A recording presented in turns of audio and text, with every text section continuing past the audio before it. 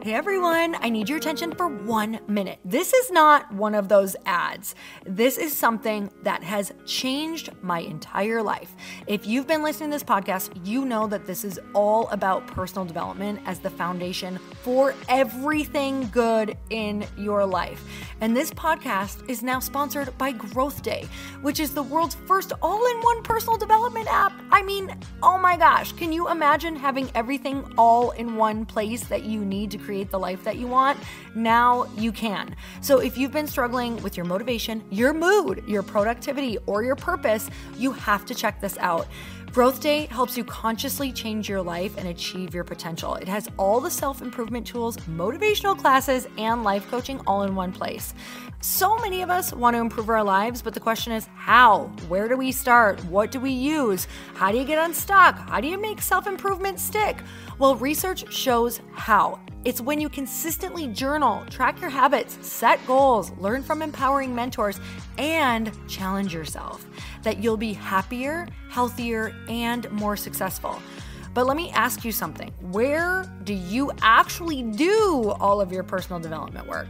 I have to tell you that over 300,000 people use Growth Day for a reason. It works. It's the world's number one software for self improvement. Growth Day has an amazing mindset journal that I absolutely love, a habit tracker, and a goal setting system. In fact, I bet if you went to my stories this week, you probably saw me using the journaling app and telling you to do it too, because it's the first time that journaling has ever actually stuck consistently in my life because of this app. And best of all, Growth Day has live inspirational classes every single week from the world's top motivational speakers and life coaches. These are people who have impacted my life in huge ways. These are mentors who I already knew and loved. In fact, this is something that's so huge for me, you guys. I personally teach a class in Growth Day every single month, and it is one of the most fun things that I get to do, and I'd love to see you there. These classes will truly shift your life. There's always something new that you will learn. So join me in 300,000 Achievers growing our lives with actual real intention. Visit growthday.com slash Lori for a free trial. Yes, you can try this for free. So go to growthday.com slash Lori and go live your best life. You guys, that's growthday.com forward slash Lori. And I can't wait to see you there.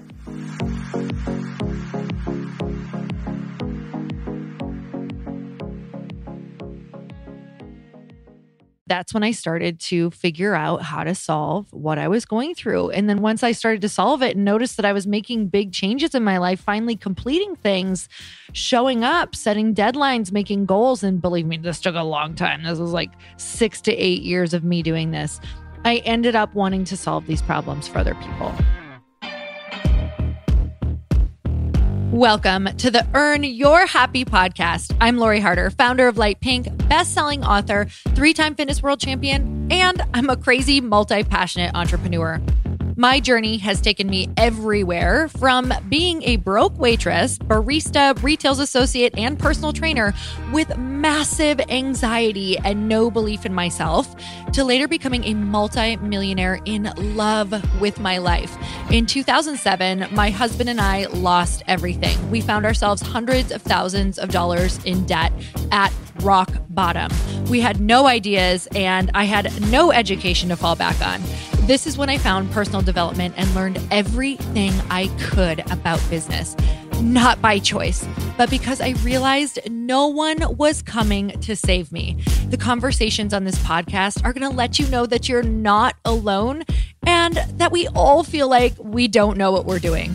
We're going to give you the tools to help you face your fears, take action, start your business, and grow those massive dreams that are keeping you up at night.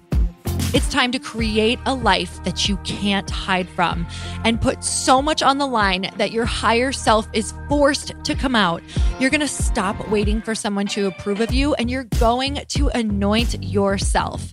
Because I'm obsessed about building businesses that give women a platform, I want to feature you. So if you text the word podcast to 310 496 8363, you can get your questions answered on our Q&A segment along with a shout out. And if you rate, review and subscribe to this podcast, we're choosing someone every month to get coached and featured on our show.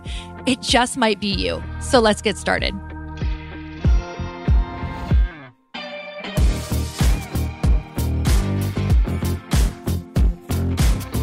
Hey everyone, welcome back to the Earn Your Happy podcast. And it's time for another quickie because there's always time to fit an inspiration. And I am somebody who just absolutely loves getting that quick shot of an idea of inspiration of learning from somebody else's journey in the morning. So I hope that this has proven to be something that just gets your wheels turning and looking at life in a different way, looking at life in a different lens and with a different question, which really brings me to my topic today. And that is the best ideas come from solving a problem in your own life or wanting to solve a problem in your own life. So many people are always like, Where do you come up with these ideas? Or how do you know what you should be doing first? How do you know what journey, you know, you should be on? What are some of the first ways to become an entrepreneur? And I think one of the biggest things that you can do is look at your life and see the problems that you've had to solve for yourself and how you could now teach that process to other people. So for me, I found personal development and had horrible anxiety. I had horrible body image. I had horrible self confidence, like the worst, you guys. You would not even recognize who I was. I don't know if you, you know, if you haven't been listening to this podcast, some of you may not even know that I dealt with such social anxiety because I hated who I was so much because I had never completed anything. Uh, you know, homeschooled through high school, didn't graduate high school, felt like a total loser, working a bunch of different retail jobs, just bouncing job to job because I was never willing to go and apply for anything that could stretch me for fear of rejection or that people would find out that I wasn't, you know, educated or didn't have a college education. So I just avoided everything like the plague, which then turned me into an anxiety ridden freak show. Like I literally couldn't do anything without getting some crazy anxiety and having panic attacks. And, you know, I went through the whole gamut. I went and got, you know, anxiety and depression pills for it. I did the entire thing. And they really did not help me very much, hardly at all, actually. In fact, it was to the point where I just felt so numb in my life because I was on so many different medications that I had a real come to Jesus moment. I was watching a commercial that was like so sad. And I don't even remember what it was about, but the commercial made me say something like in my brain, I asked the question, like, wow, eh, do I f- like, am I not feeling things that I normally feel? Like, is this numbing everything that I'm experiencing in life? You know am i am i trying to cope with something that maybe i should be looking at or i'm not willing to look at or i'm not willing to do the challenging things and i'm trying to cover it up with things this is not everyone this was my experience right there are definitely people who i believe need to use the assistance of medication. I do think that it's helpful in some experiences. For me, I was simply running from something and trying to cover it up instead of facing what I needed to face. So, with that said, during this commercial, I asked myself, I was like, wow, if I, if all of a sudden I lost everyone I loved in my life, how would I feel? And I was like, oh my God, I don't think I could cry. And that was the moment when I said, okay, I'm going to get off these things and I'm going to start facing whatever it is that I'm afraid of and seeing if I can do this with the help of like, I, I didn't even know who, that with the help of dot, dot, dot. That's how it was. And I was like, I don't know where to start. I don't know where to turn to. And I started ta- uh, asking people. Like I told Chris, because he worked in a big office, he actually worked in like a mortgage and finance company at the time. And I didn't really talk to a ton of people because I was kind of doing random retail jobs and didn't have a ton of friends. And I said, Hey, ask anyone at work if they know, you know, of any like events or personal development or books or anything for for somebody with anxiety who or lack of self-confidence. So he actually went and he asked around his office and someone had just gone to something called Landmark Forum, which is almost like a big personal development type of experience where you're going to kind of face whatever it is that you've been avoiding and for me it was um, you know, social anxiety. Where did this come from? Lack of self confidence. What's my story? What do I believe? Where did my story come from? Why do I feel this way? So I I was at the place where I was like, I'm gonna do whatever it takes. And you know, that's when I started to figure out how to solve what I was going through. And then once I started to solve it and noticed that I was making big changes in my life, finally completing things, showing up, setting deadlines, making goals. And believe me, this took a long time. This was like six to eight years of me doing this. I ended up wanting to solve these problems for other people. So that is where these different ideas came from. Is down the road I was like, "Wait, I've solved this for myself. I've been able to, you know, make these friend circles who support me through this. I've been able to set these goals. I've been able to set these little milestones. I've been able to show up. I've been able to, you know, do all of these different things. How do I package this and teach to other other people?" So what are the problems that you have solved for yourself that now you can go and package for other people. All right. Another thing to look at is what is something that I do in my life that I'm like, wow, this is clunky. How could I streamline this? Or wow, I'm not really like, I just see that this could be done in a better way. How could I how can I make this quicker, faster, easier for other people? Right? Maybe you're a mom and you're like, what is this clunky process with you know, cleaning these baby bottles or whatever this looks like. And you're like, wow, I could think of something that could maybe you created something at home that could be better. How can you patent something? How could you invent something? Right. So that's solving a need for yourself. Let's look at the third one. So, number one was something that you've solved for yourself. Number two is streamlining. Number three is what is something that you could improve? So, this is what I did with Lite Pink. I looked around at the social culture of drinking. I looked around at what choices women had if we didn't want, you know, for me, I love wine. I'm obsessed with wine, but sometimes wine feels really heavy, or two glasses of it, I'm like, oh, you know what? I felt that the next day and I don't feel great, but I still want to go and have my two to three drinks if I'm out all night with friends.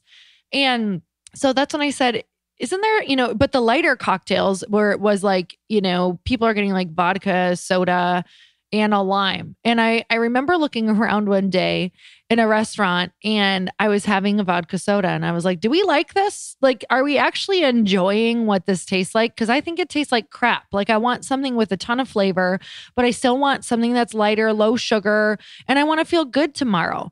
So I was like, "God, I just feel like we could make this better." And I feel like it could be in a can so that it's like I could bring it with me to the beach or if I brought it with me to a social event, I don't want it to look like you know, a hard seltzer. I want it to look like a really elevated experience. Like I want a canned cocktail, but I want the experience of like a luxury rosé wine bottle. And so I started to say, how can I improve this? Is this a stupid idea? And then I was like, wait, I would love this. I would absolutely love this. And then I was like, okay, so when we're drinking, we're asking these, you know, we're having these conversations that usually I leave and I'm like, God, I wish we could have just like skipped the small talk and gotten to the good stuff. What if on the back of the can, we wrote questions so that we all got better conversations. We had the cocktail we wanted and we felt better the next day. And so I decided to create an idea out of something that I wanted to improve. I wanted it for myself, right? I wanted to solve this for myself. And that's why it's so easy for me to talk about it is because I'm so passionate about it. This is exactly what I wanted. I am the customer. So I can speak not only from the journey, but I can speak from being in the shoes of the customer and speak to that customer and know what she wants because she is me. So the fourth one is repackage. You guys, so many times we try to reinvent the wheel. And what I kind of did was repackage with Lite Pink, you know, what is already out there but needs improvement. But repackage, like what is something that's already out there, but you can just put your own spin on it. So maybe you're a, you know, maybe you love coffee cups, but you're like, God, I just wish that, you know, they came out with one with all these poppy colors, with quotes that are a little bit more empowering or very specific to the boss babe or whatever that looks like.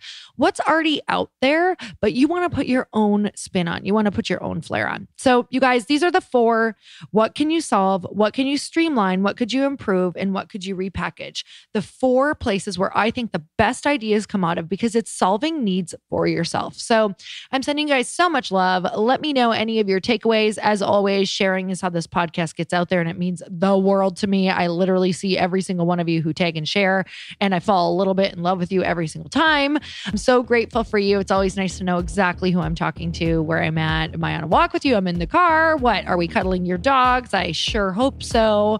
I don't know. Have a glass of wine with me. That would be great as well. And until next time, earn your happy. Bye, everyone.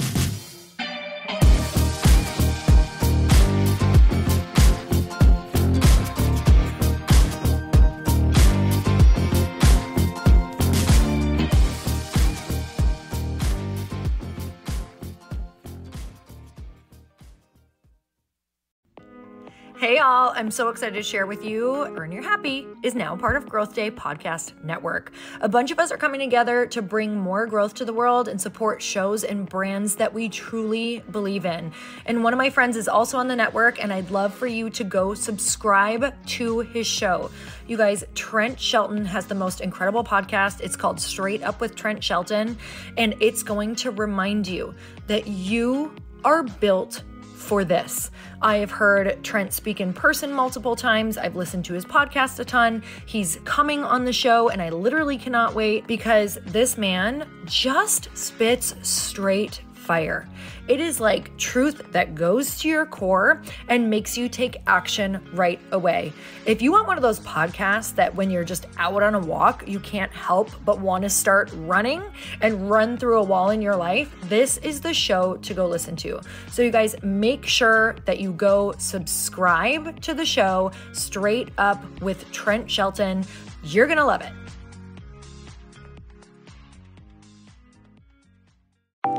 Want to know a huge secret to my success? Okay, not only my success, but just about every single person that I have interviewed on this podcast who is successful has this in common. You guys, they love to journal. They capture their life lessons and what they're grateful for.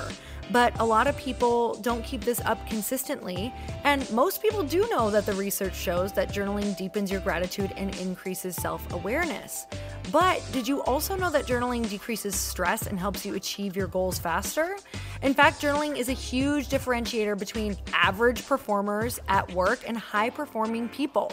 It leads to longer term clarity, confidence, and success. So, why don't more people journal? Why didn't I journal consistently?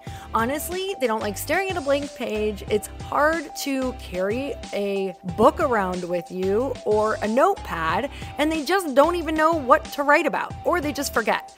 That's why I know that you're going to love Growth Day. It's the world's number one system for self improvement, and it's like all in one personal development in an app. And it has an awesome digital journal, and people love it. Growth Day's digital journal has hundreds of research backed writing prompts for self reflection, positive mindset, confidence building, and success. I use them all the time, and it makes me think in ways that I typically don't, and it makes me ask myself better questions, which we all know gets better results in our life life. It even has prompts that help you develop a daily, weekly, or monthly habit of reflecting on your life and identifying areas to grow. So it's a perfect time of year to start journaling, you guys.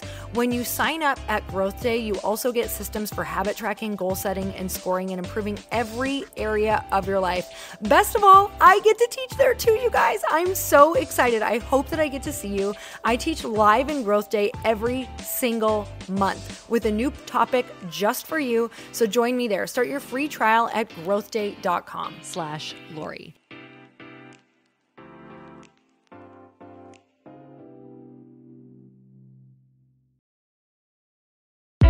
Hey, I know if you're listening to this podcast that you have big dreams and big goals. And one of the things that can really stop you is struggling with your marketing. Trust me, I have been there. Are you using 10 different systems just to build your online business? Then I want you to try Kajabi. Kajabi helps you build your web pages, set up funnels, and sell your courses, content, coaching, or communities. You've been hearing me talk a lot about funnels on this podcast and the importance of your email list. You can get a free trial at kajabi.com. That's K A J A B I.com. I've talked about Kajabi before, but here's something that's super cool and new. They just rolled out an AI assistant for creating your online course curriculum. And this means you just type in a topic that you want to create on a course or webinar, and bam, it just generates a sample outline for you. It takes a ton of the hard work away. Of course, you're going to customize it to be your own, but this really helps you get over the struggle of how in the world to start which is where most people stop. If you're like me, starting is always the hardest part, and that's what makes Kajabi so popular. They've made it easier for creators to build web pages, build courses, build coaching programs, build membership sites, build checkout pages, and build email funnels. So if you're struggling with any of those, you got to go check it out. Go to kajabi.com. Kajabi was really the first all in one system and is trusted by over 100,000 creators. I think that's good enough for me. Also, as influencers and marketers who use this. And now their smart AI platform makes it easy to take what you know and turn it into an online course and business. Go start building with a free trial at kajabi.com. That's K A J A B I.com.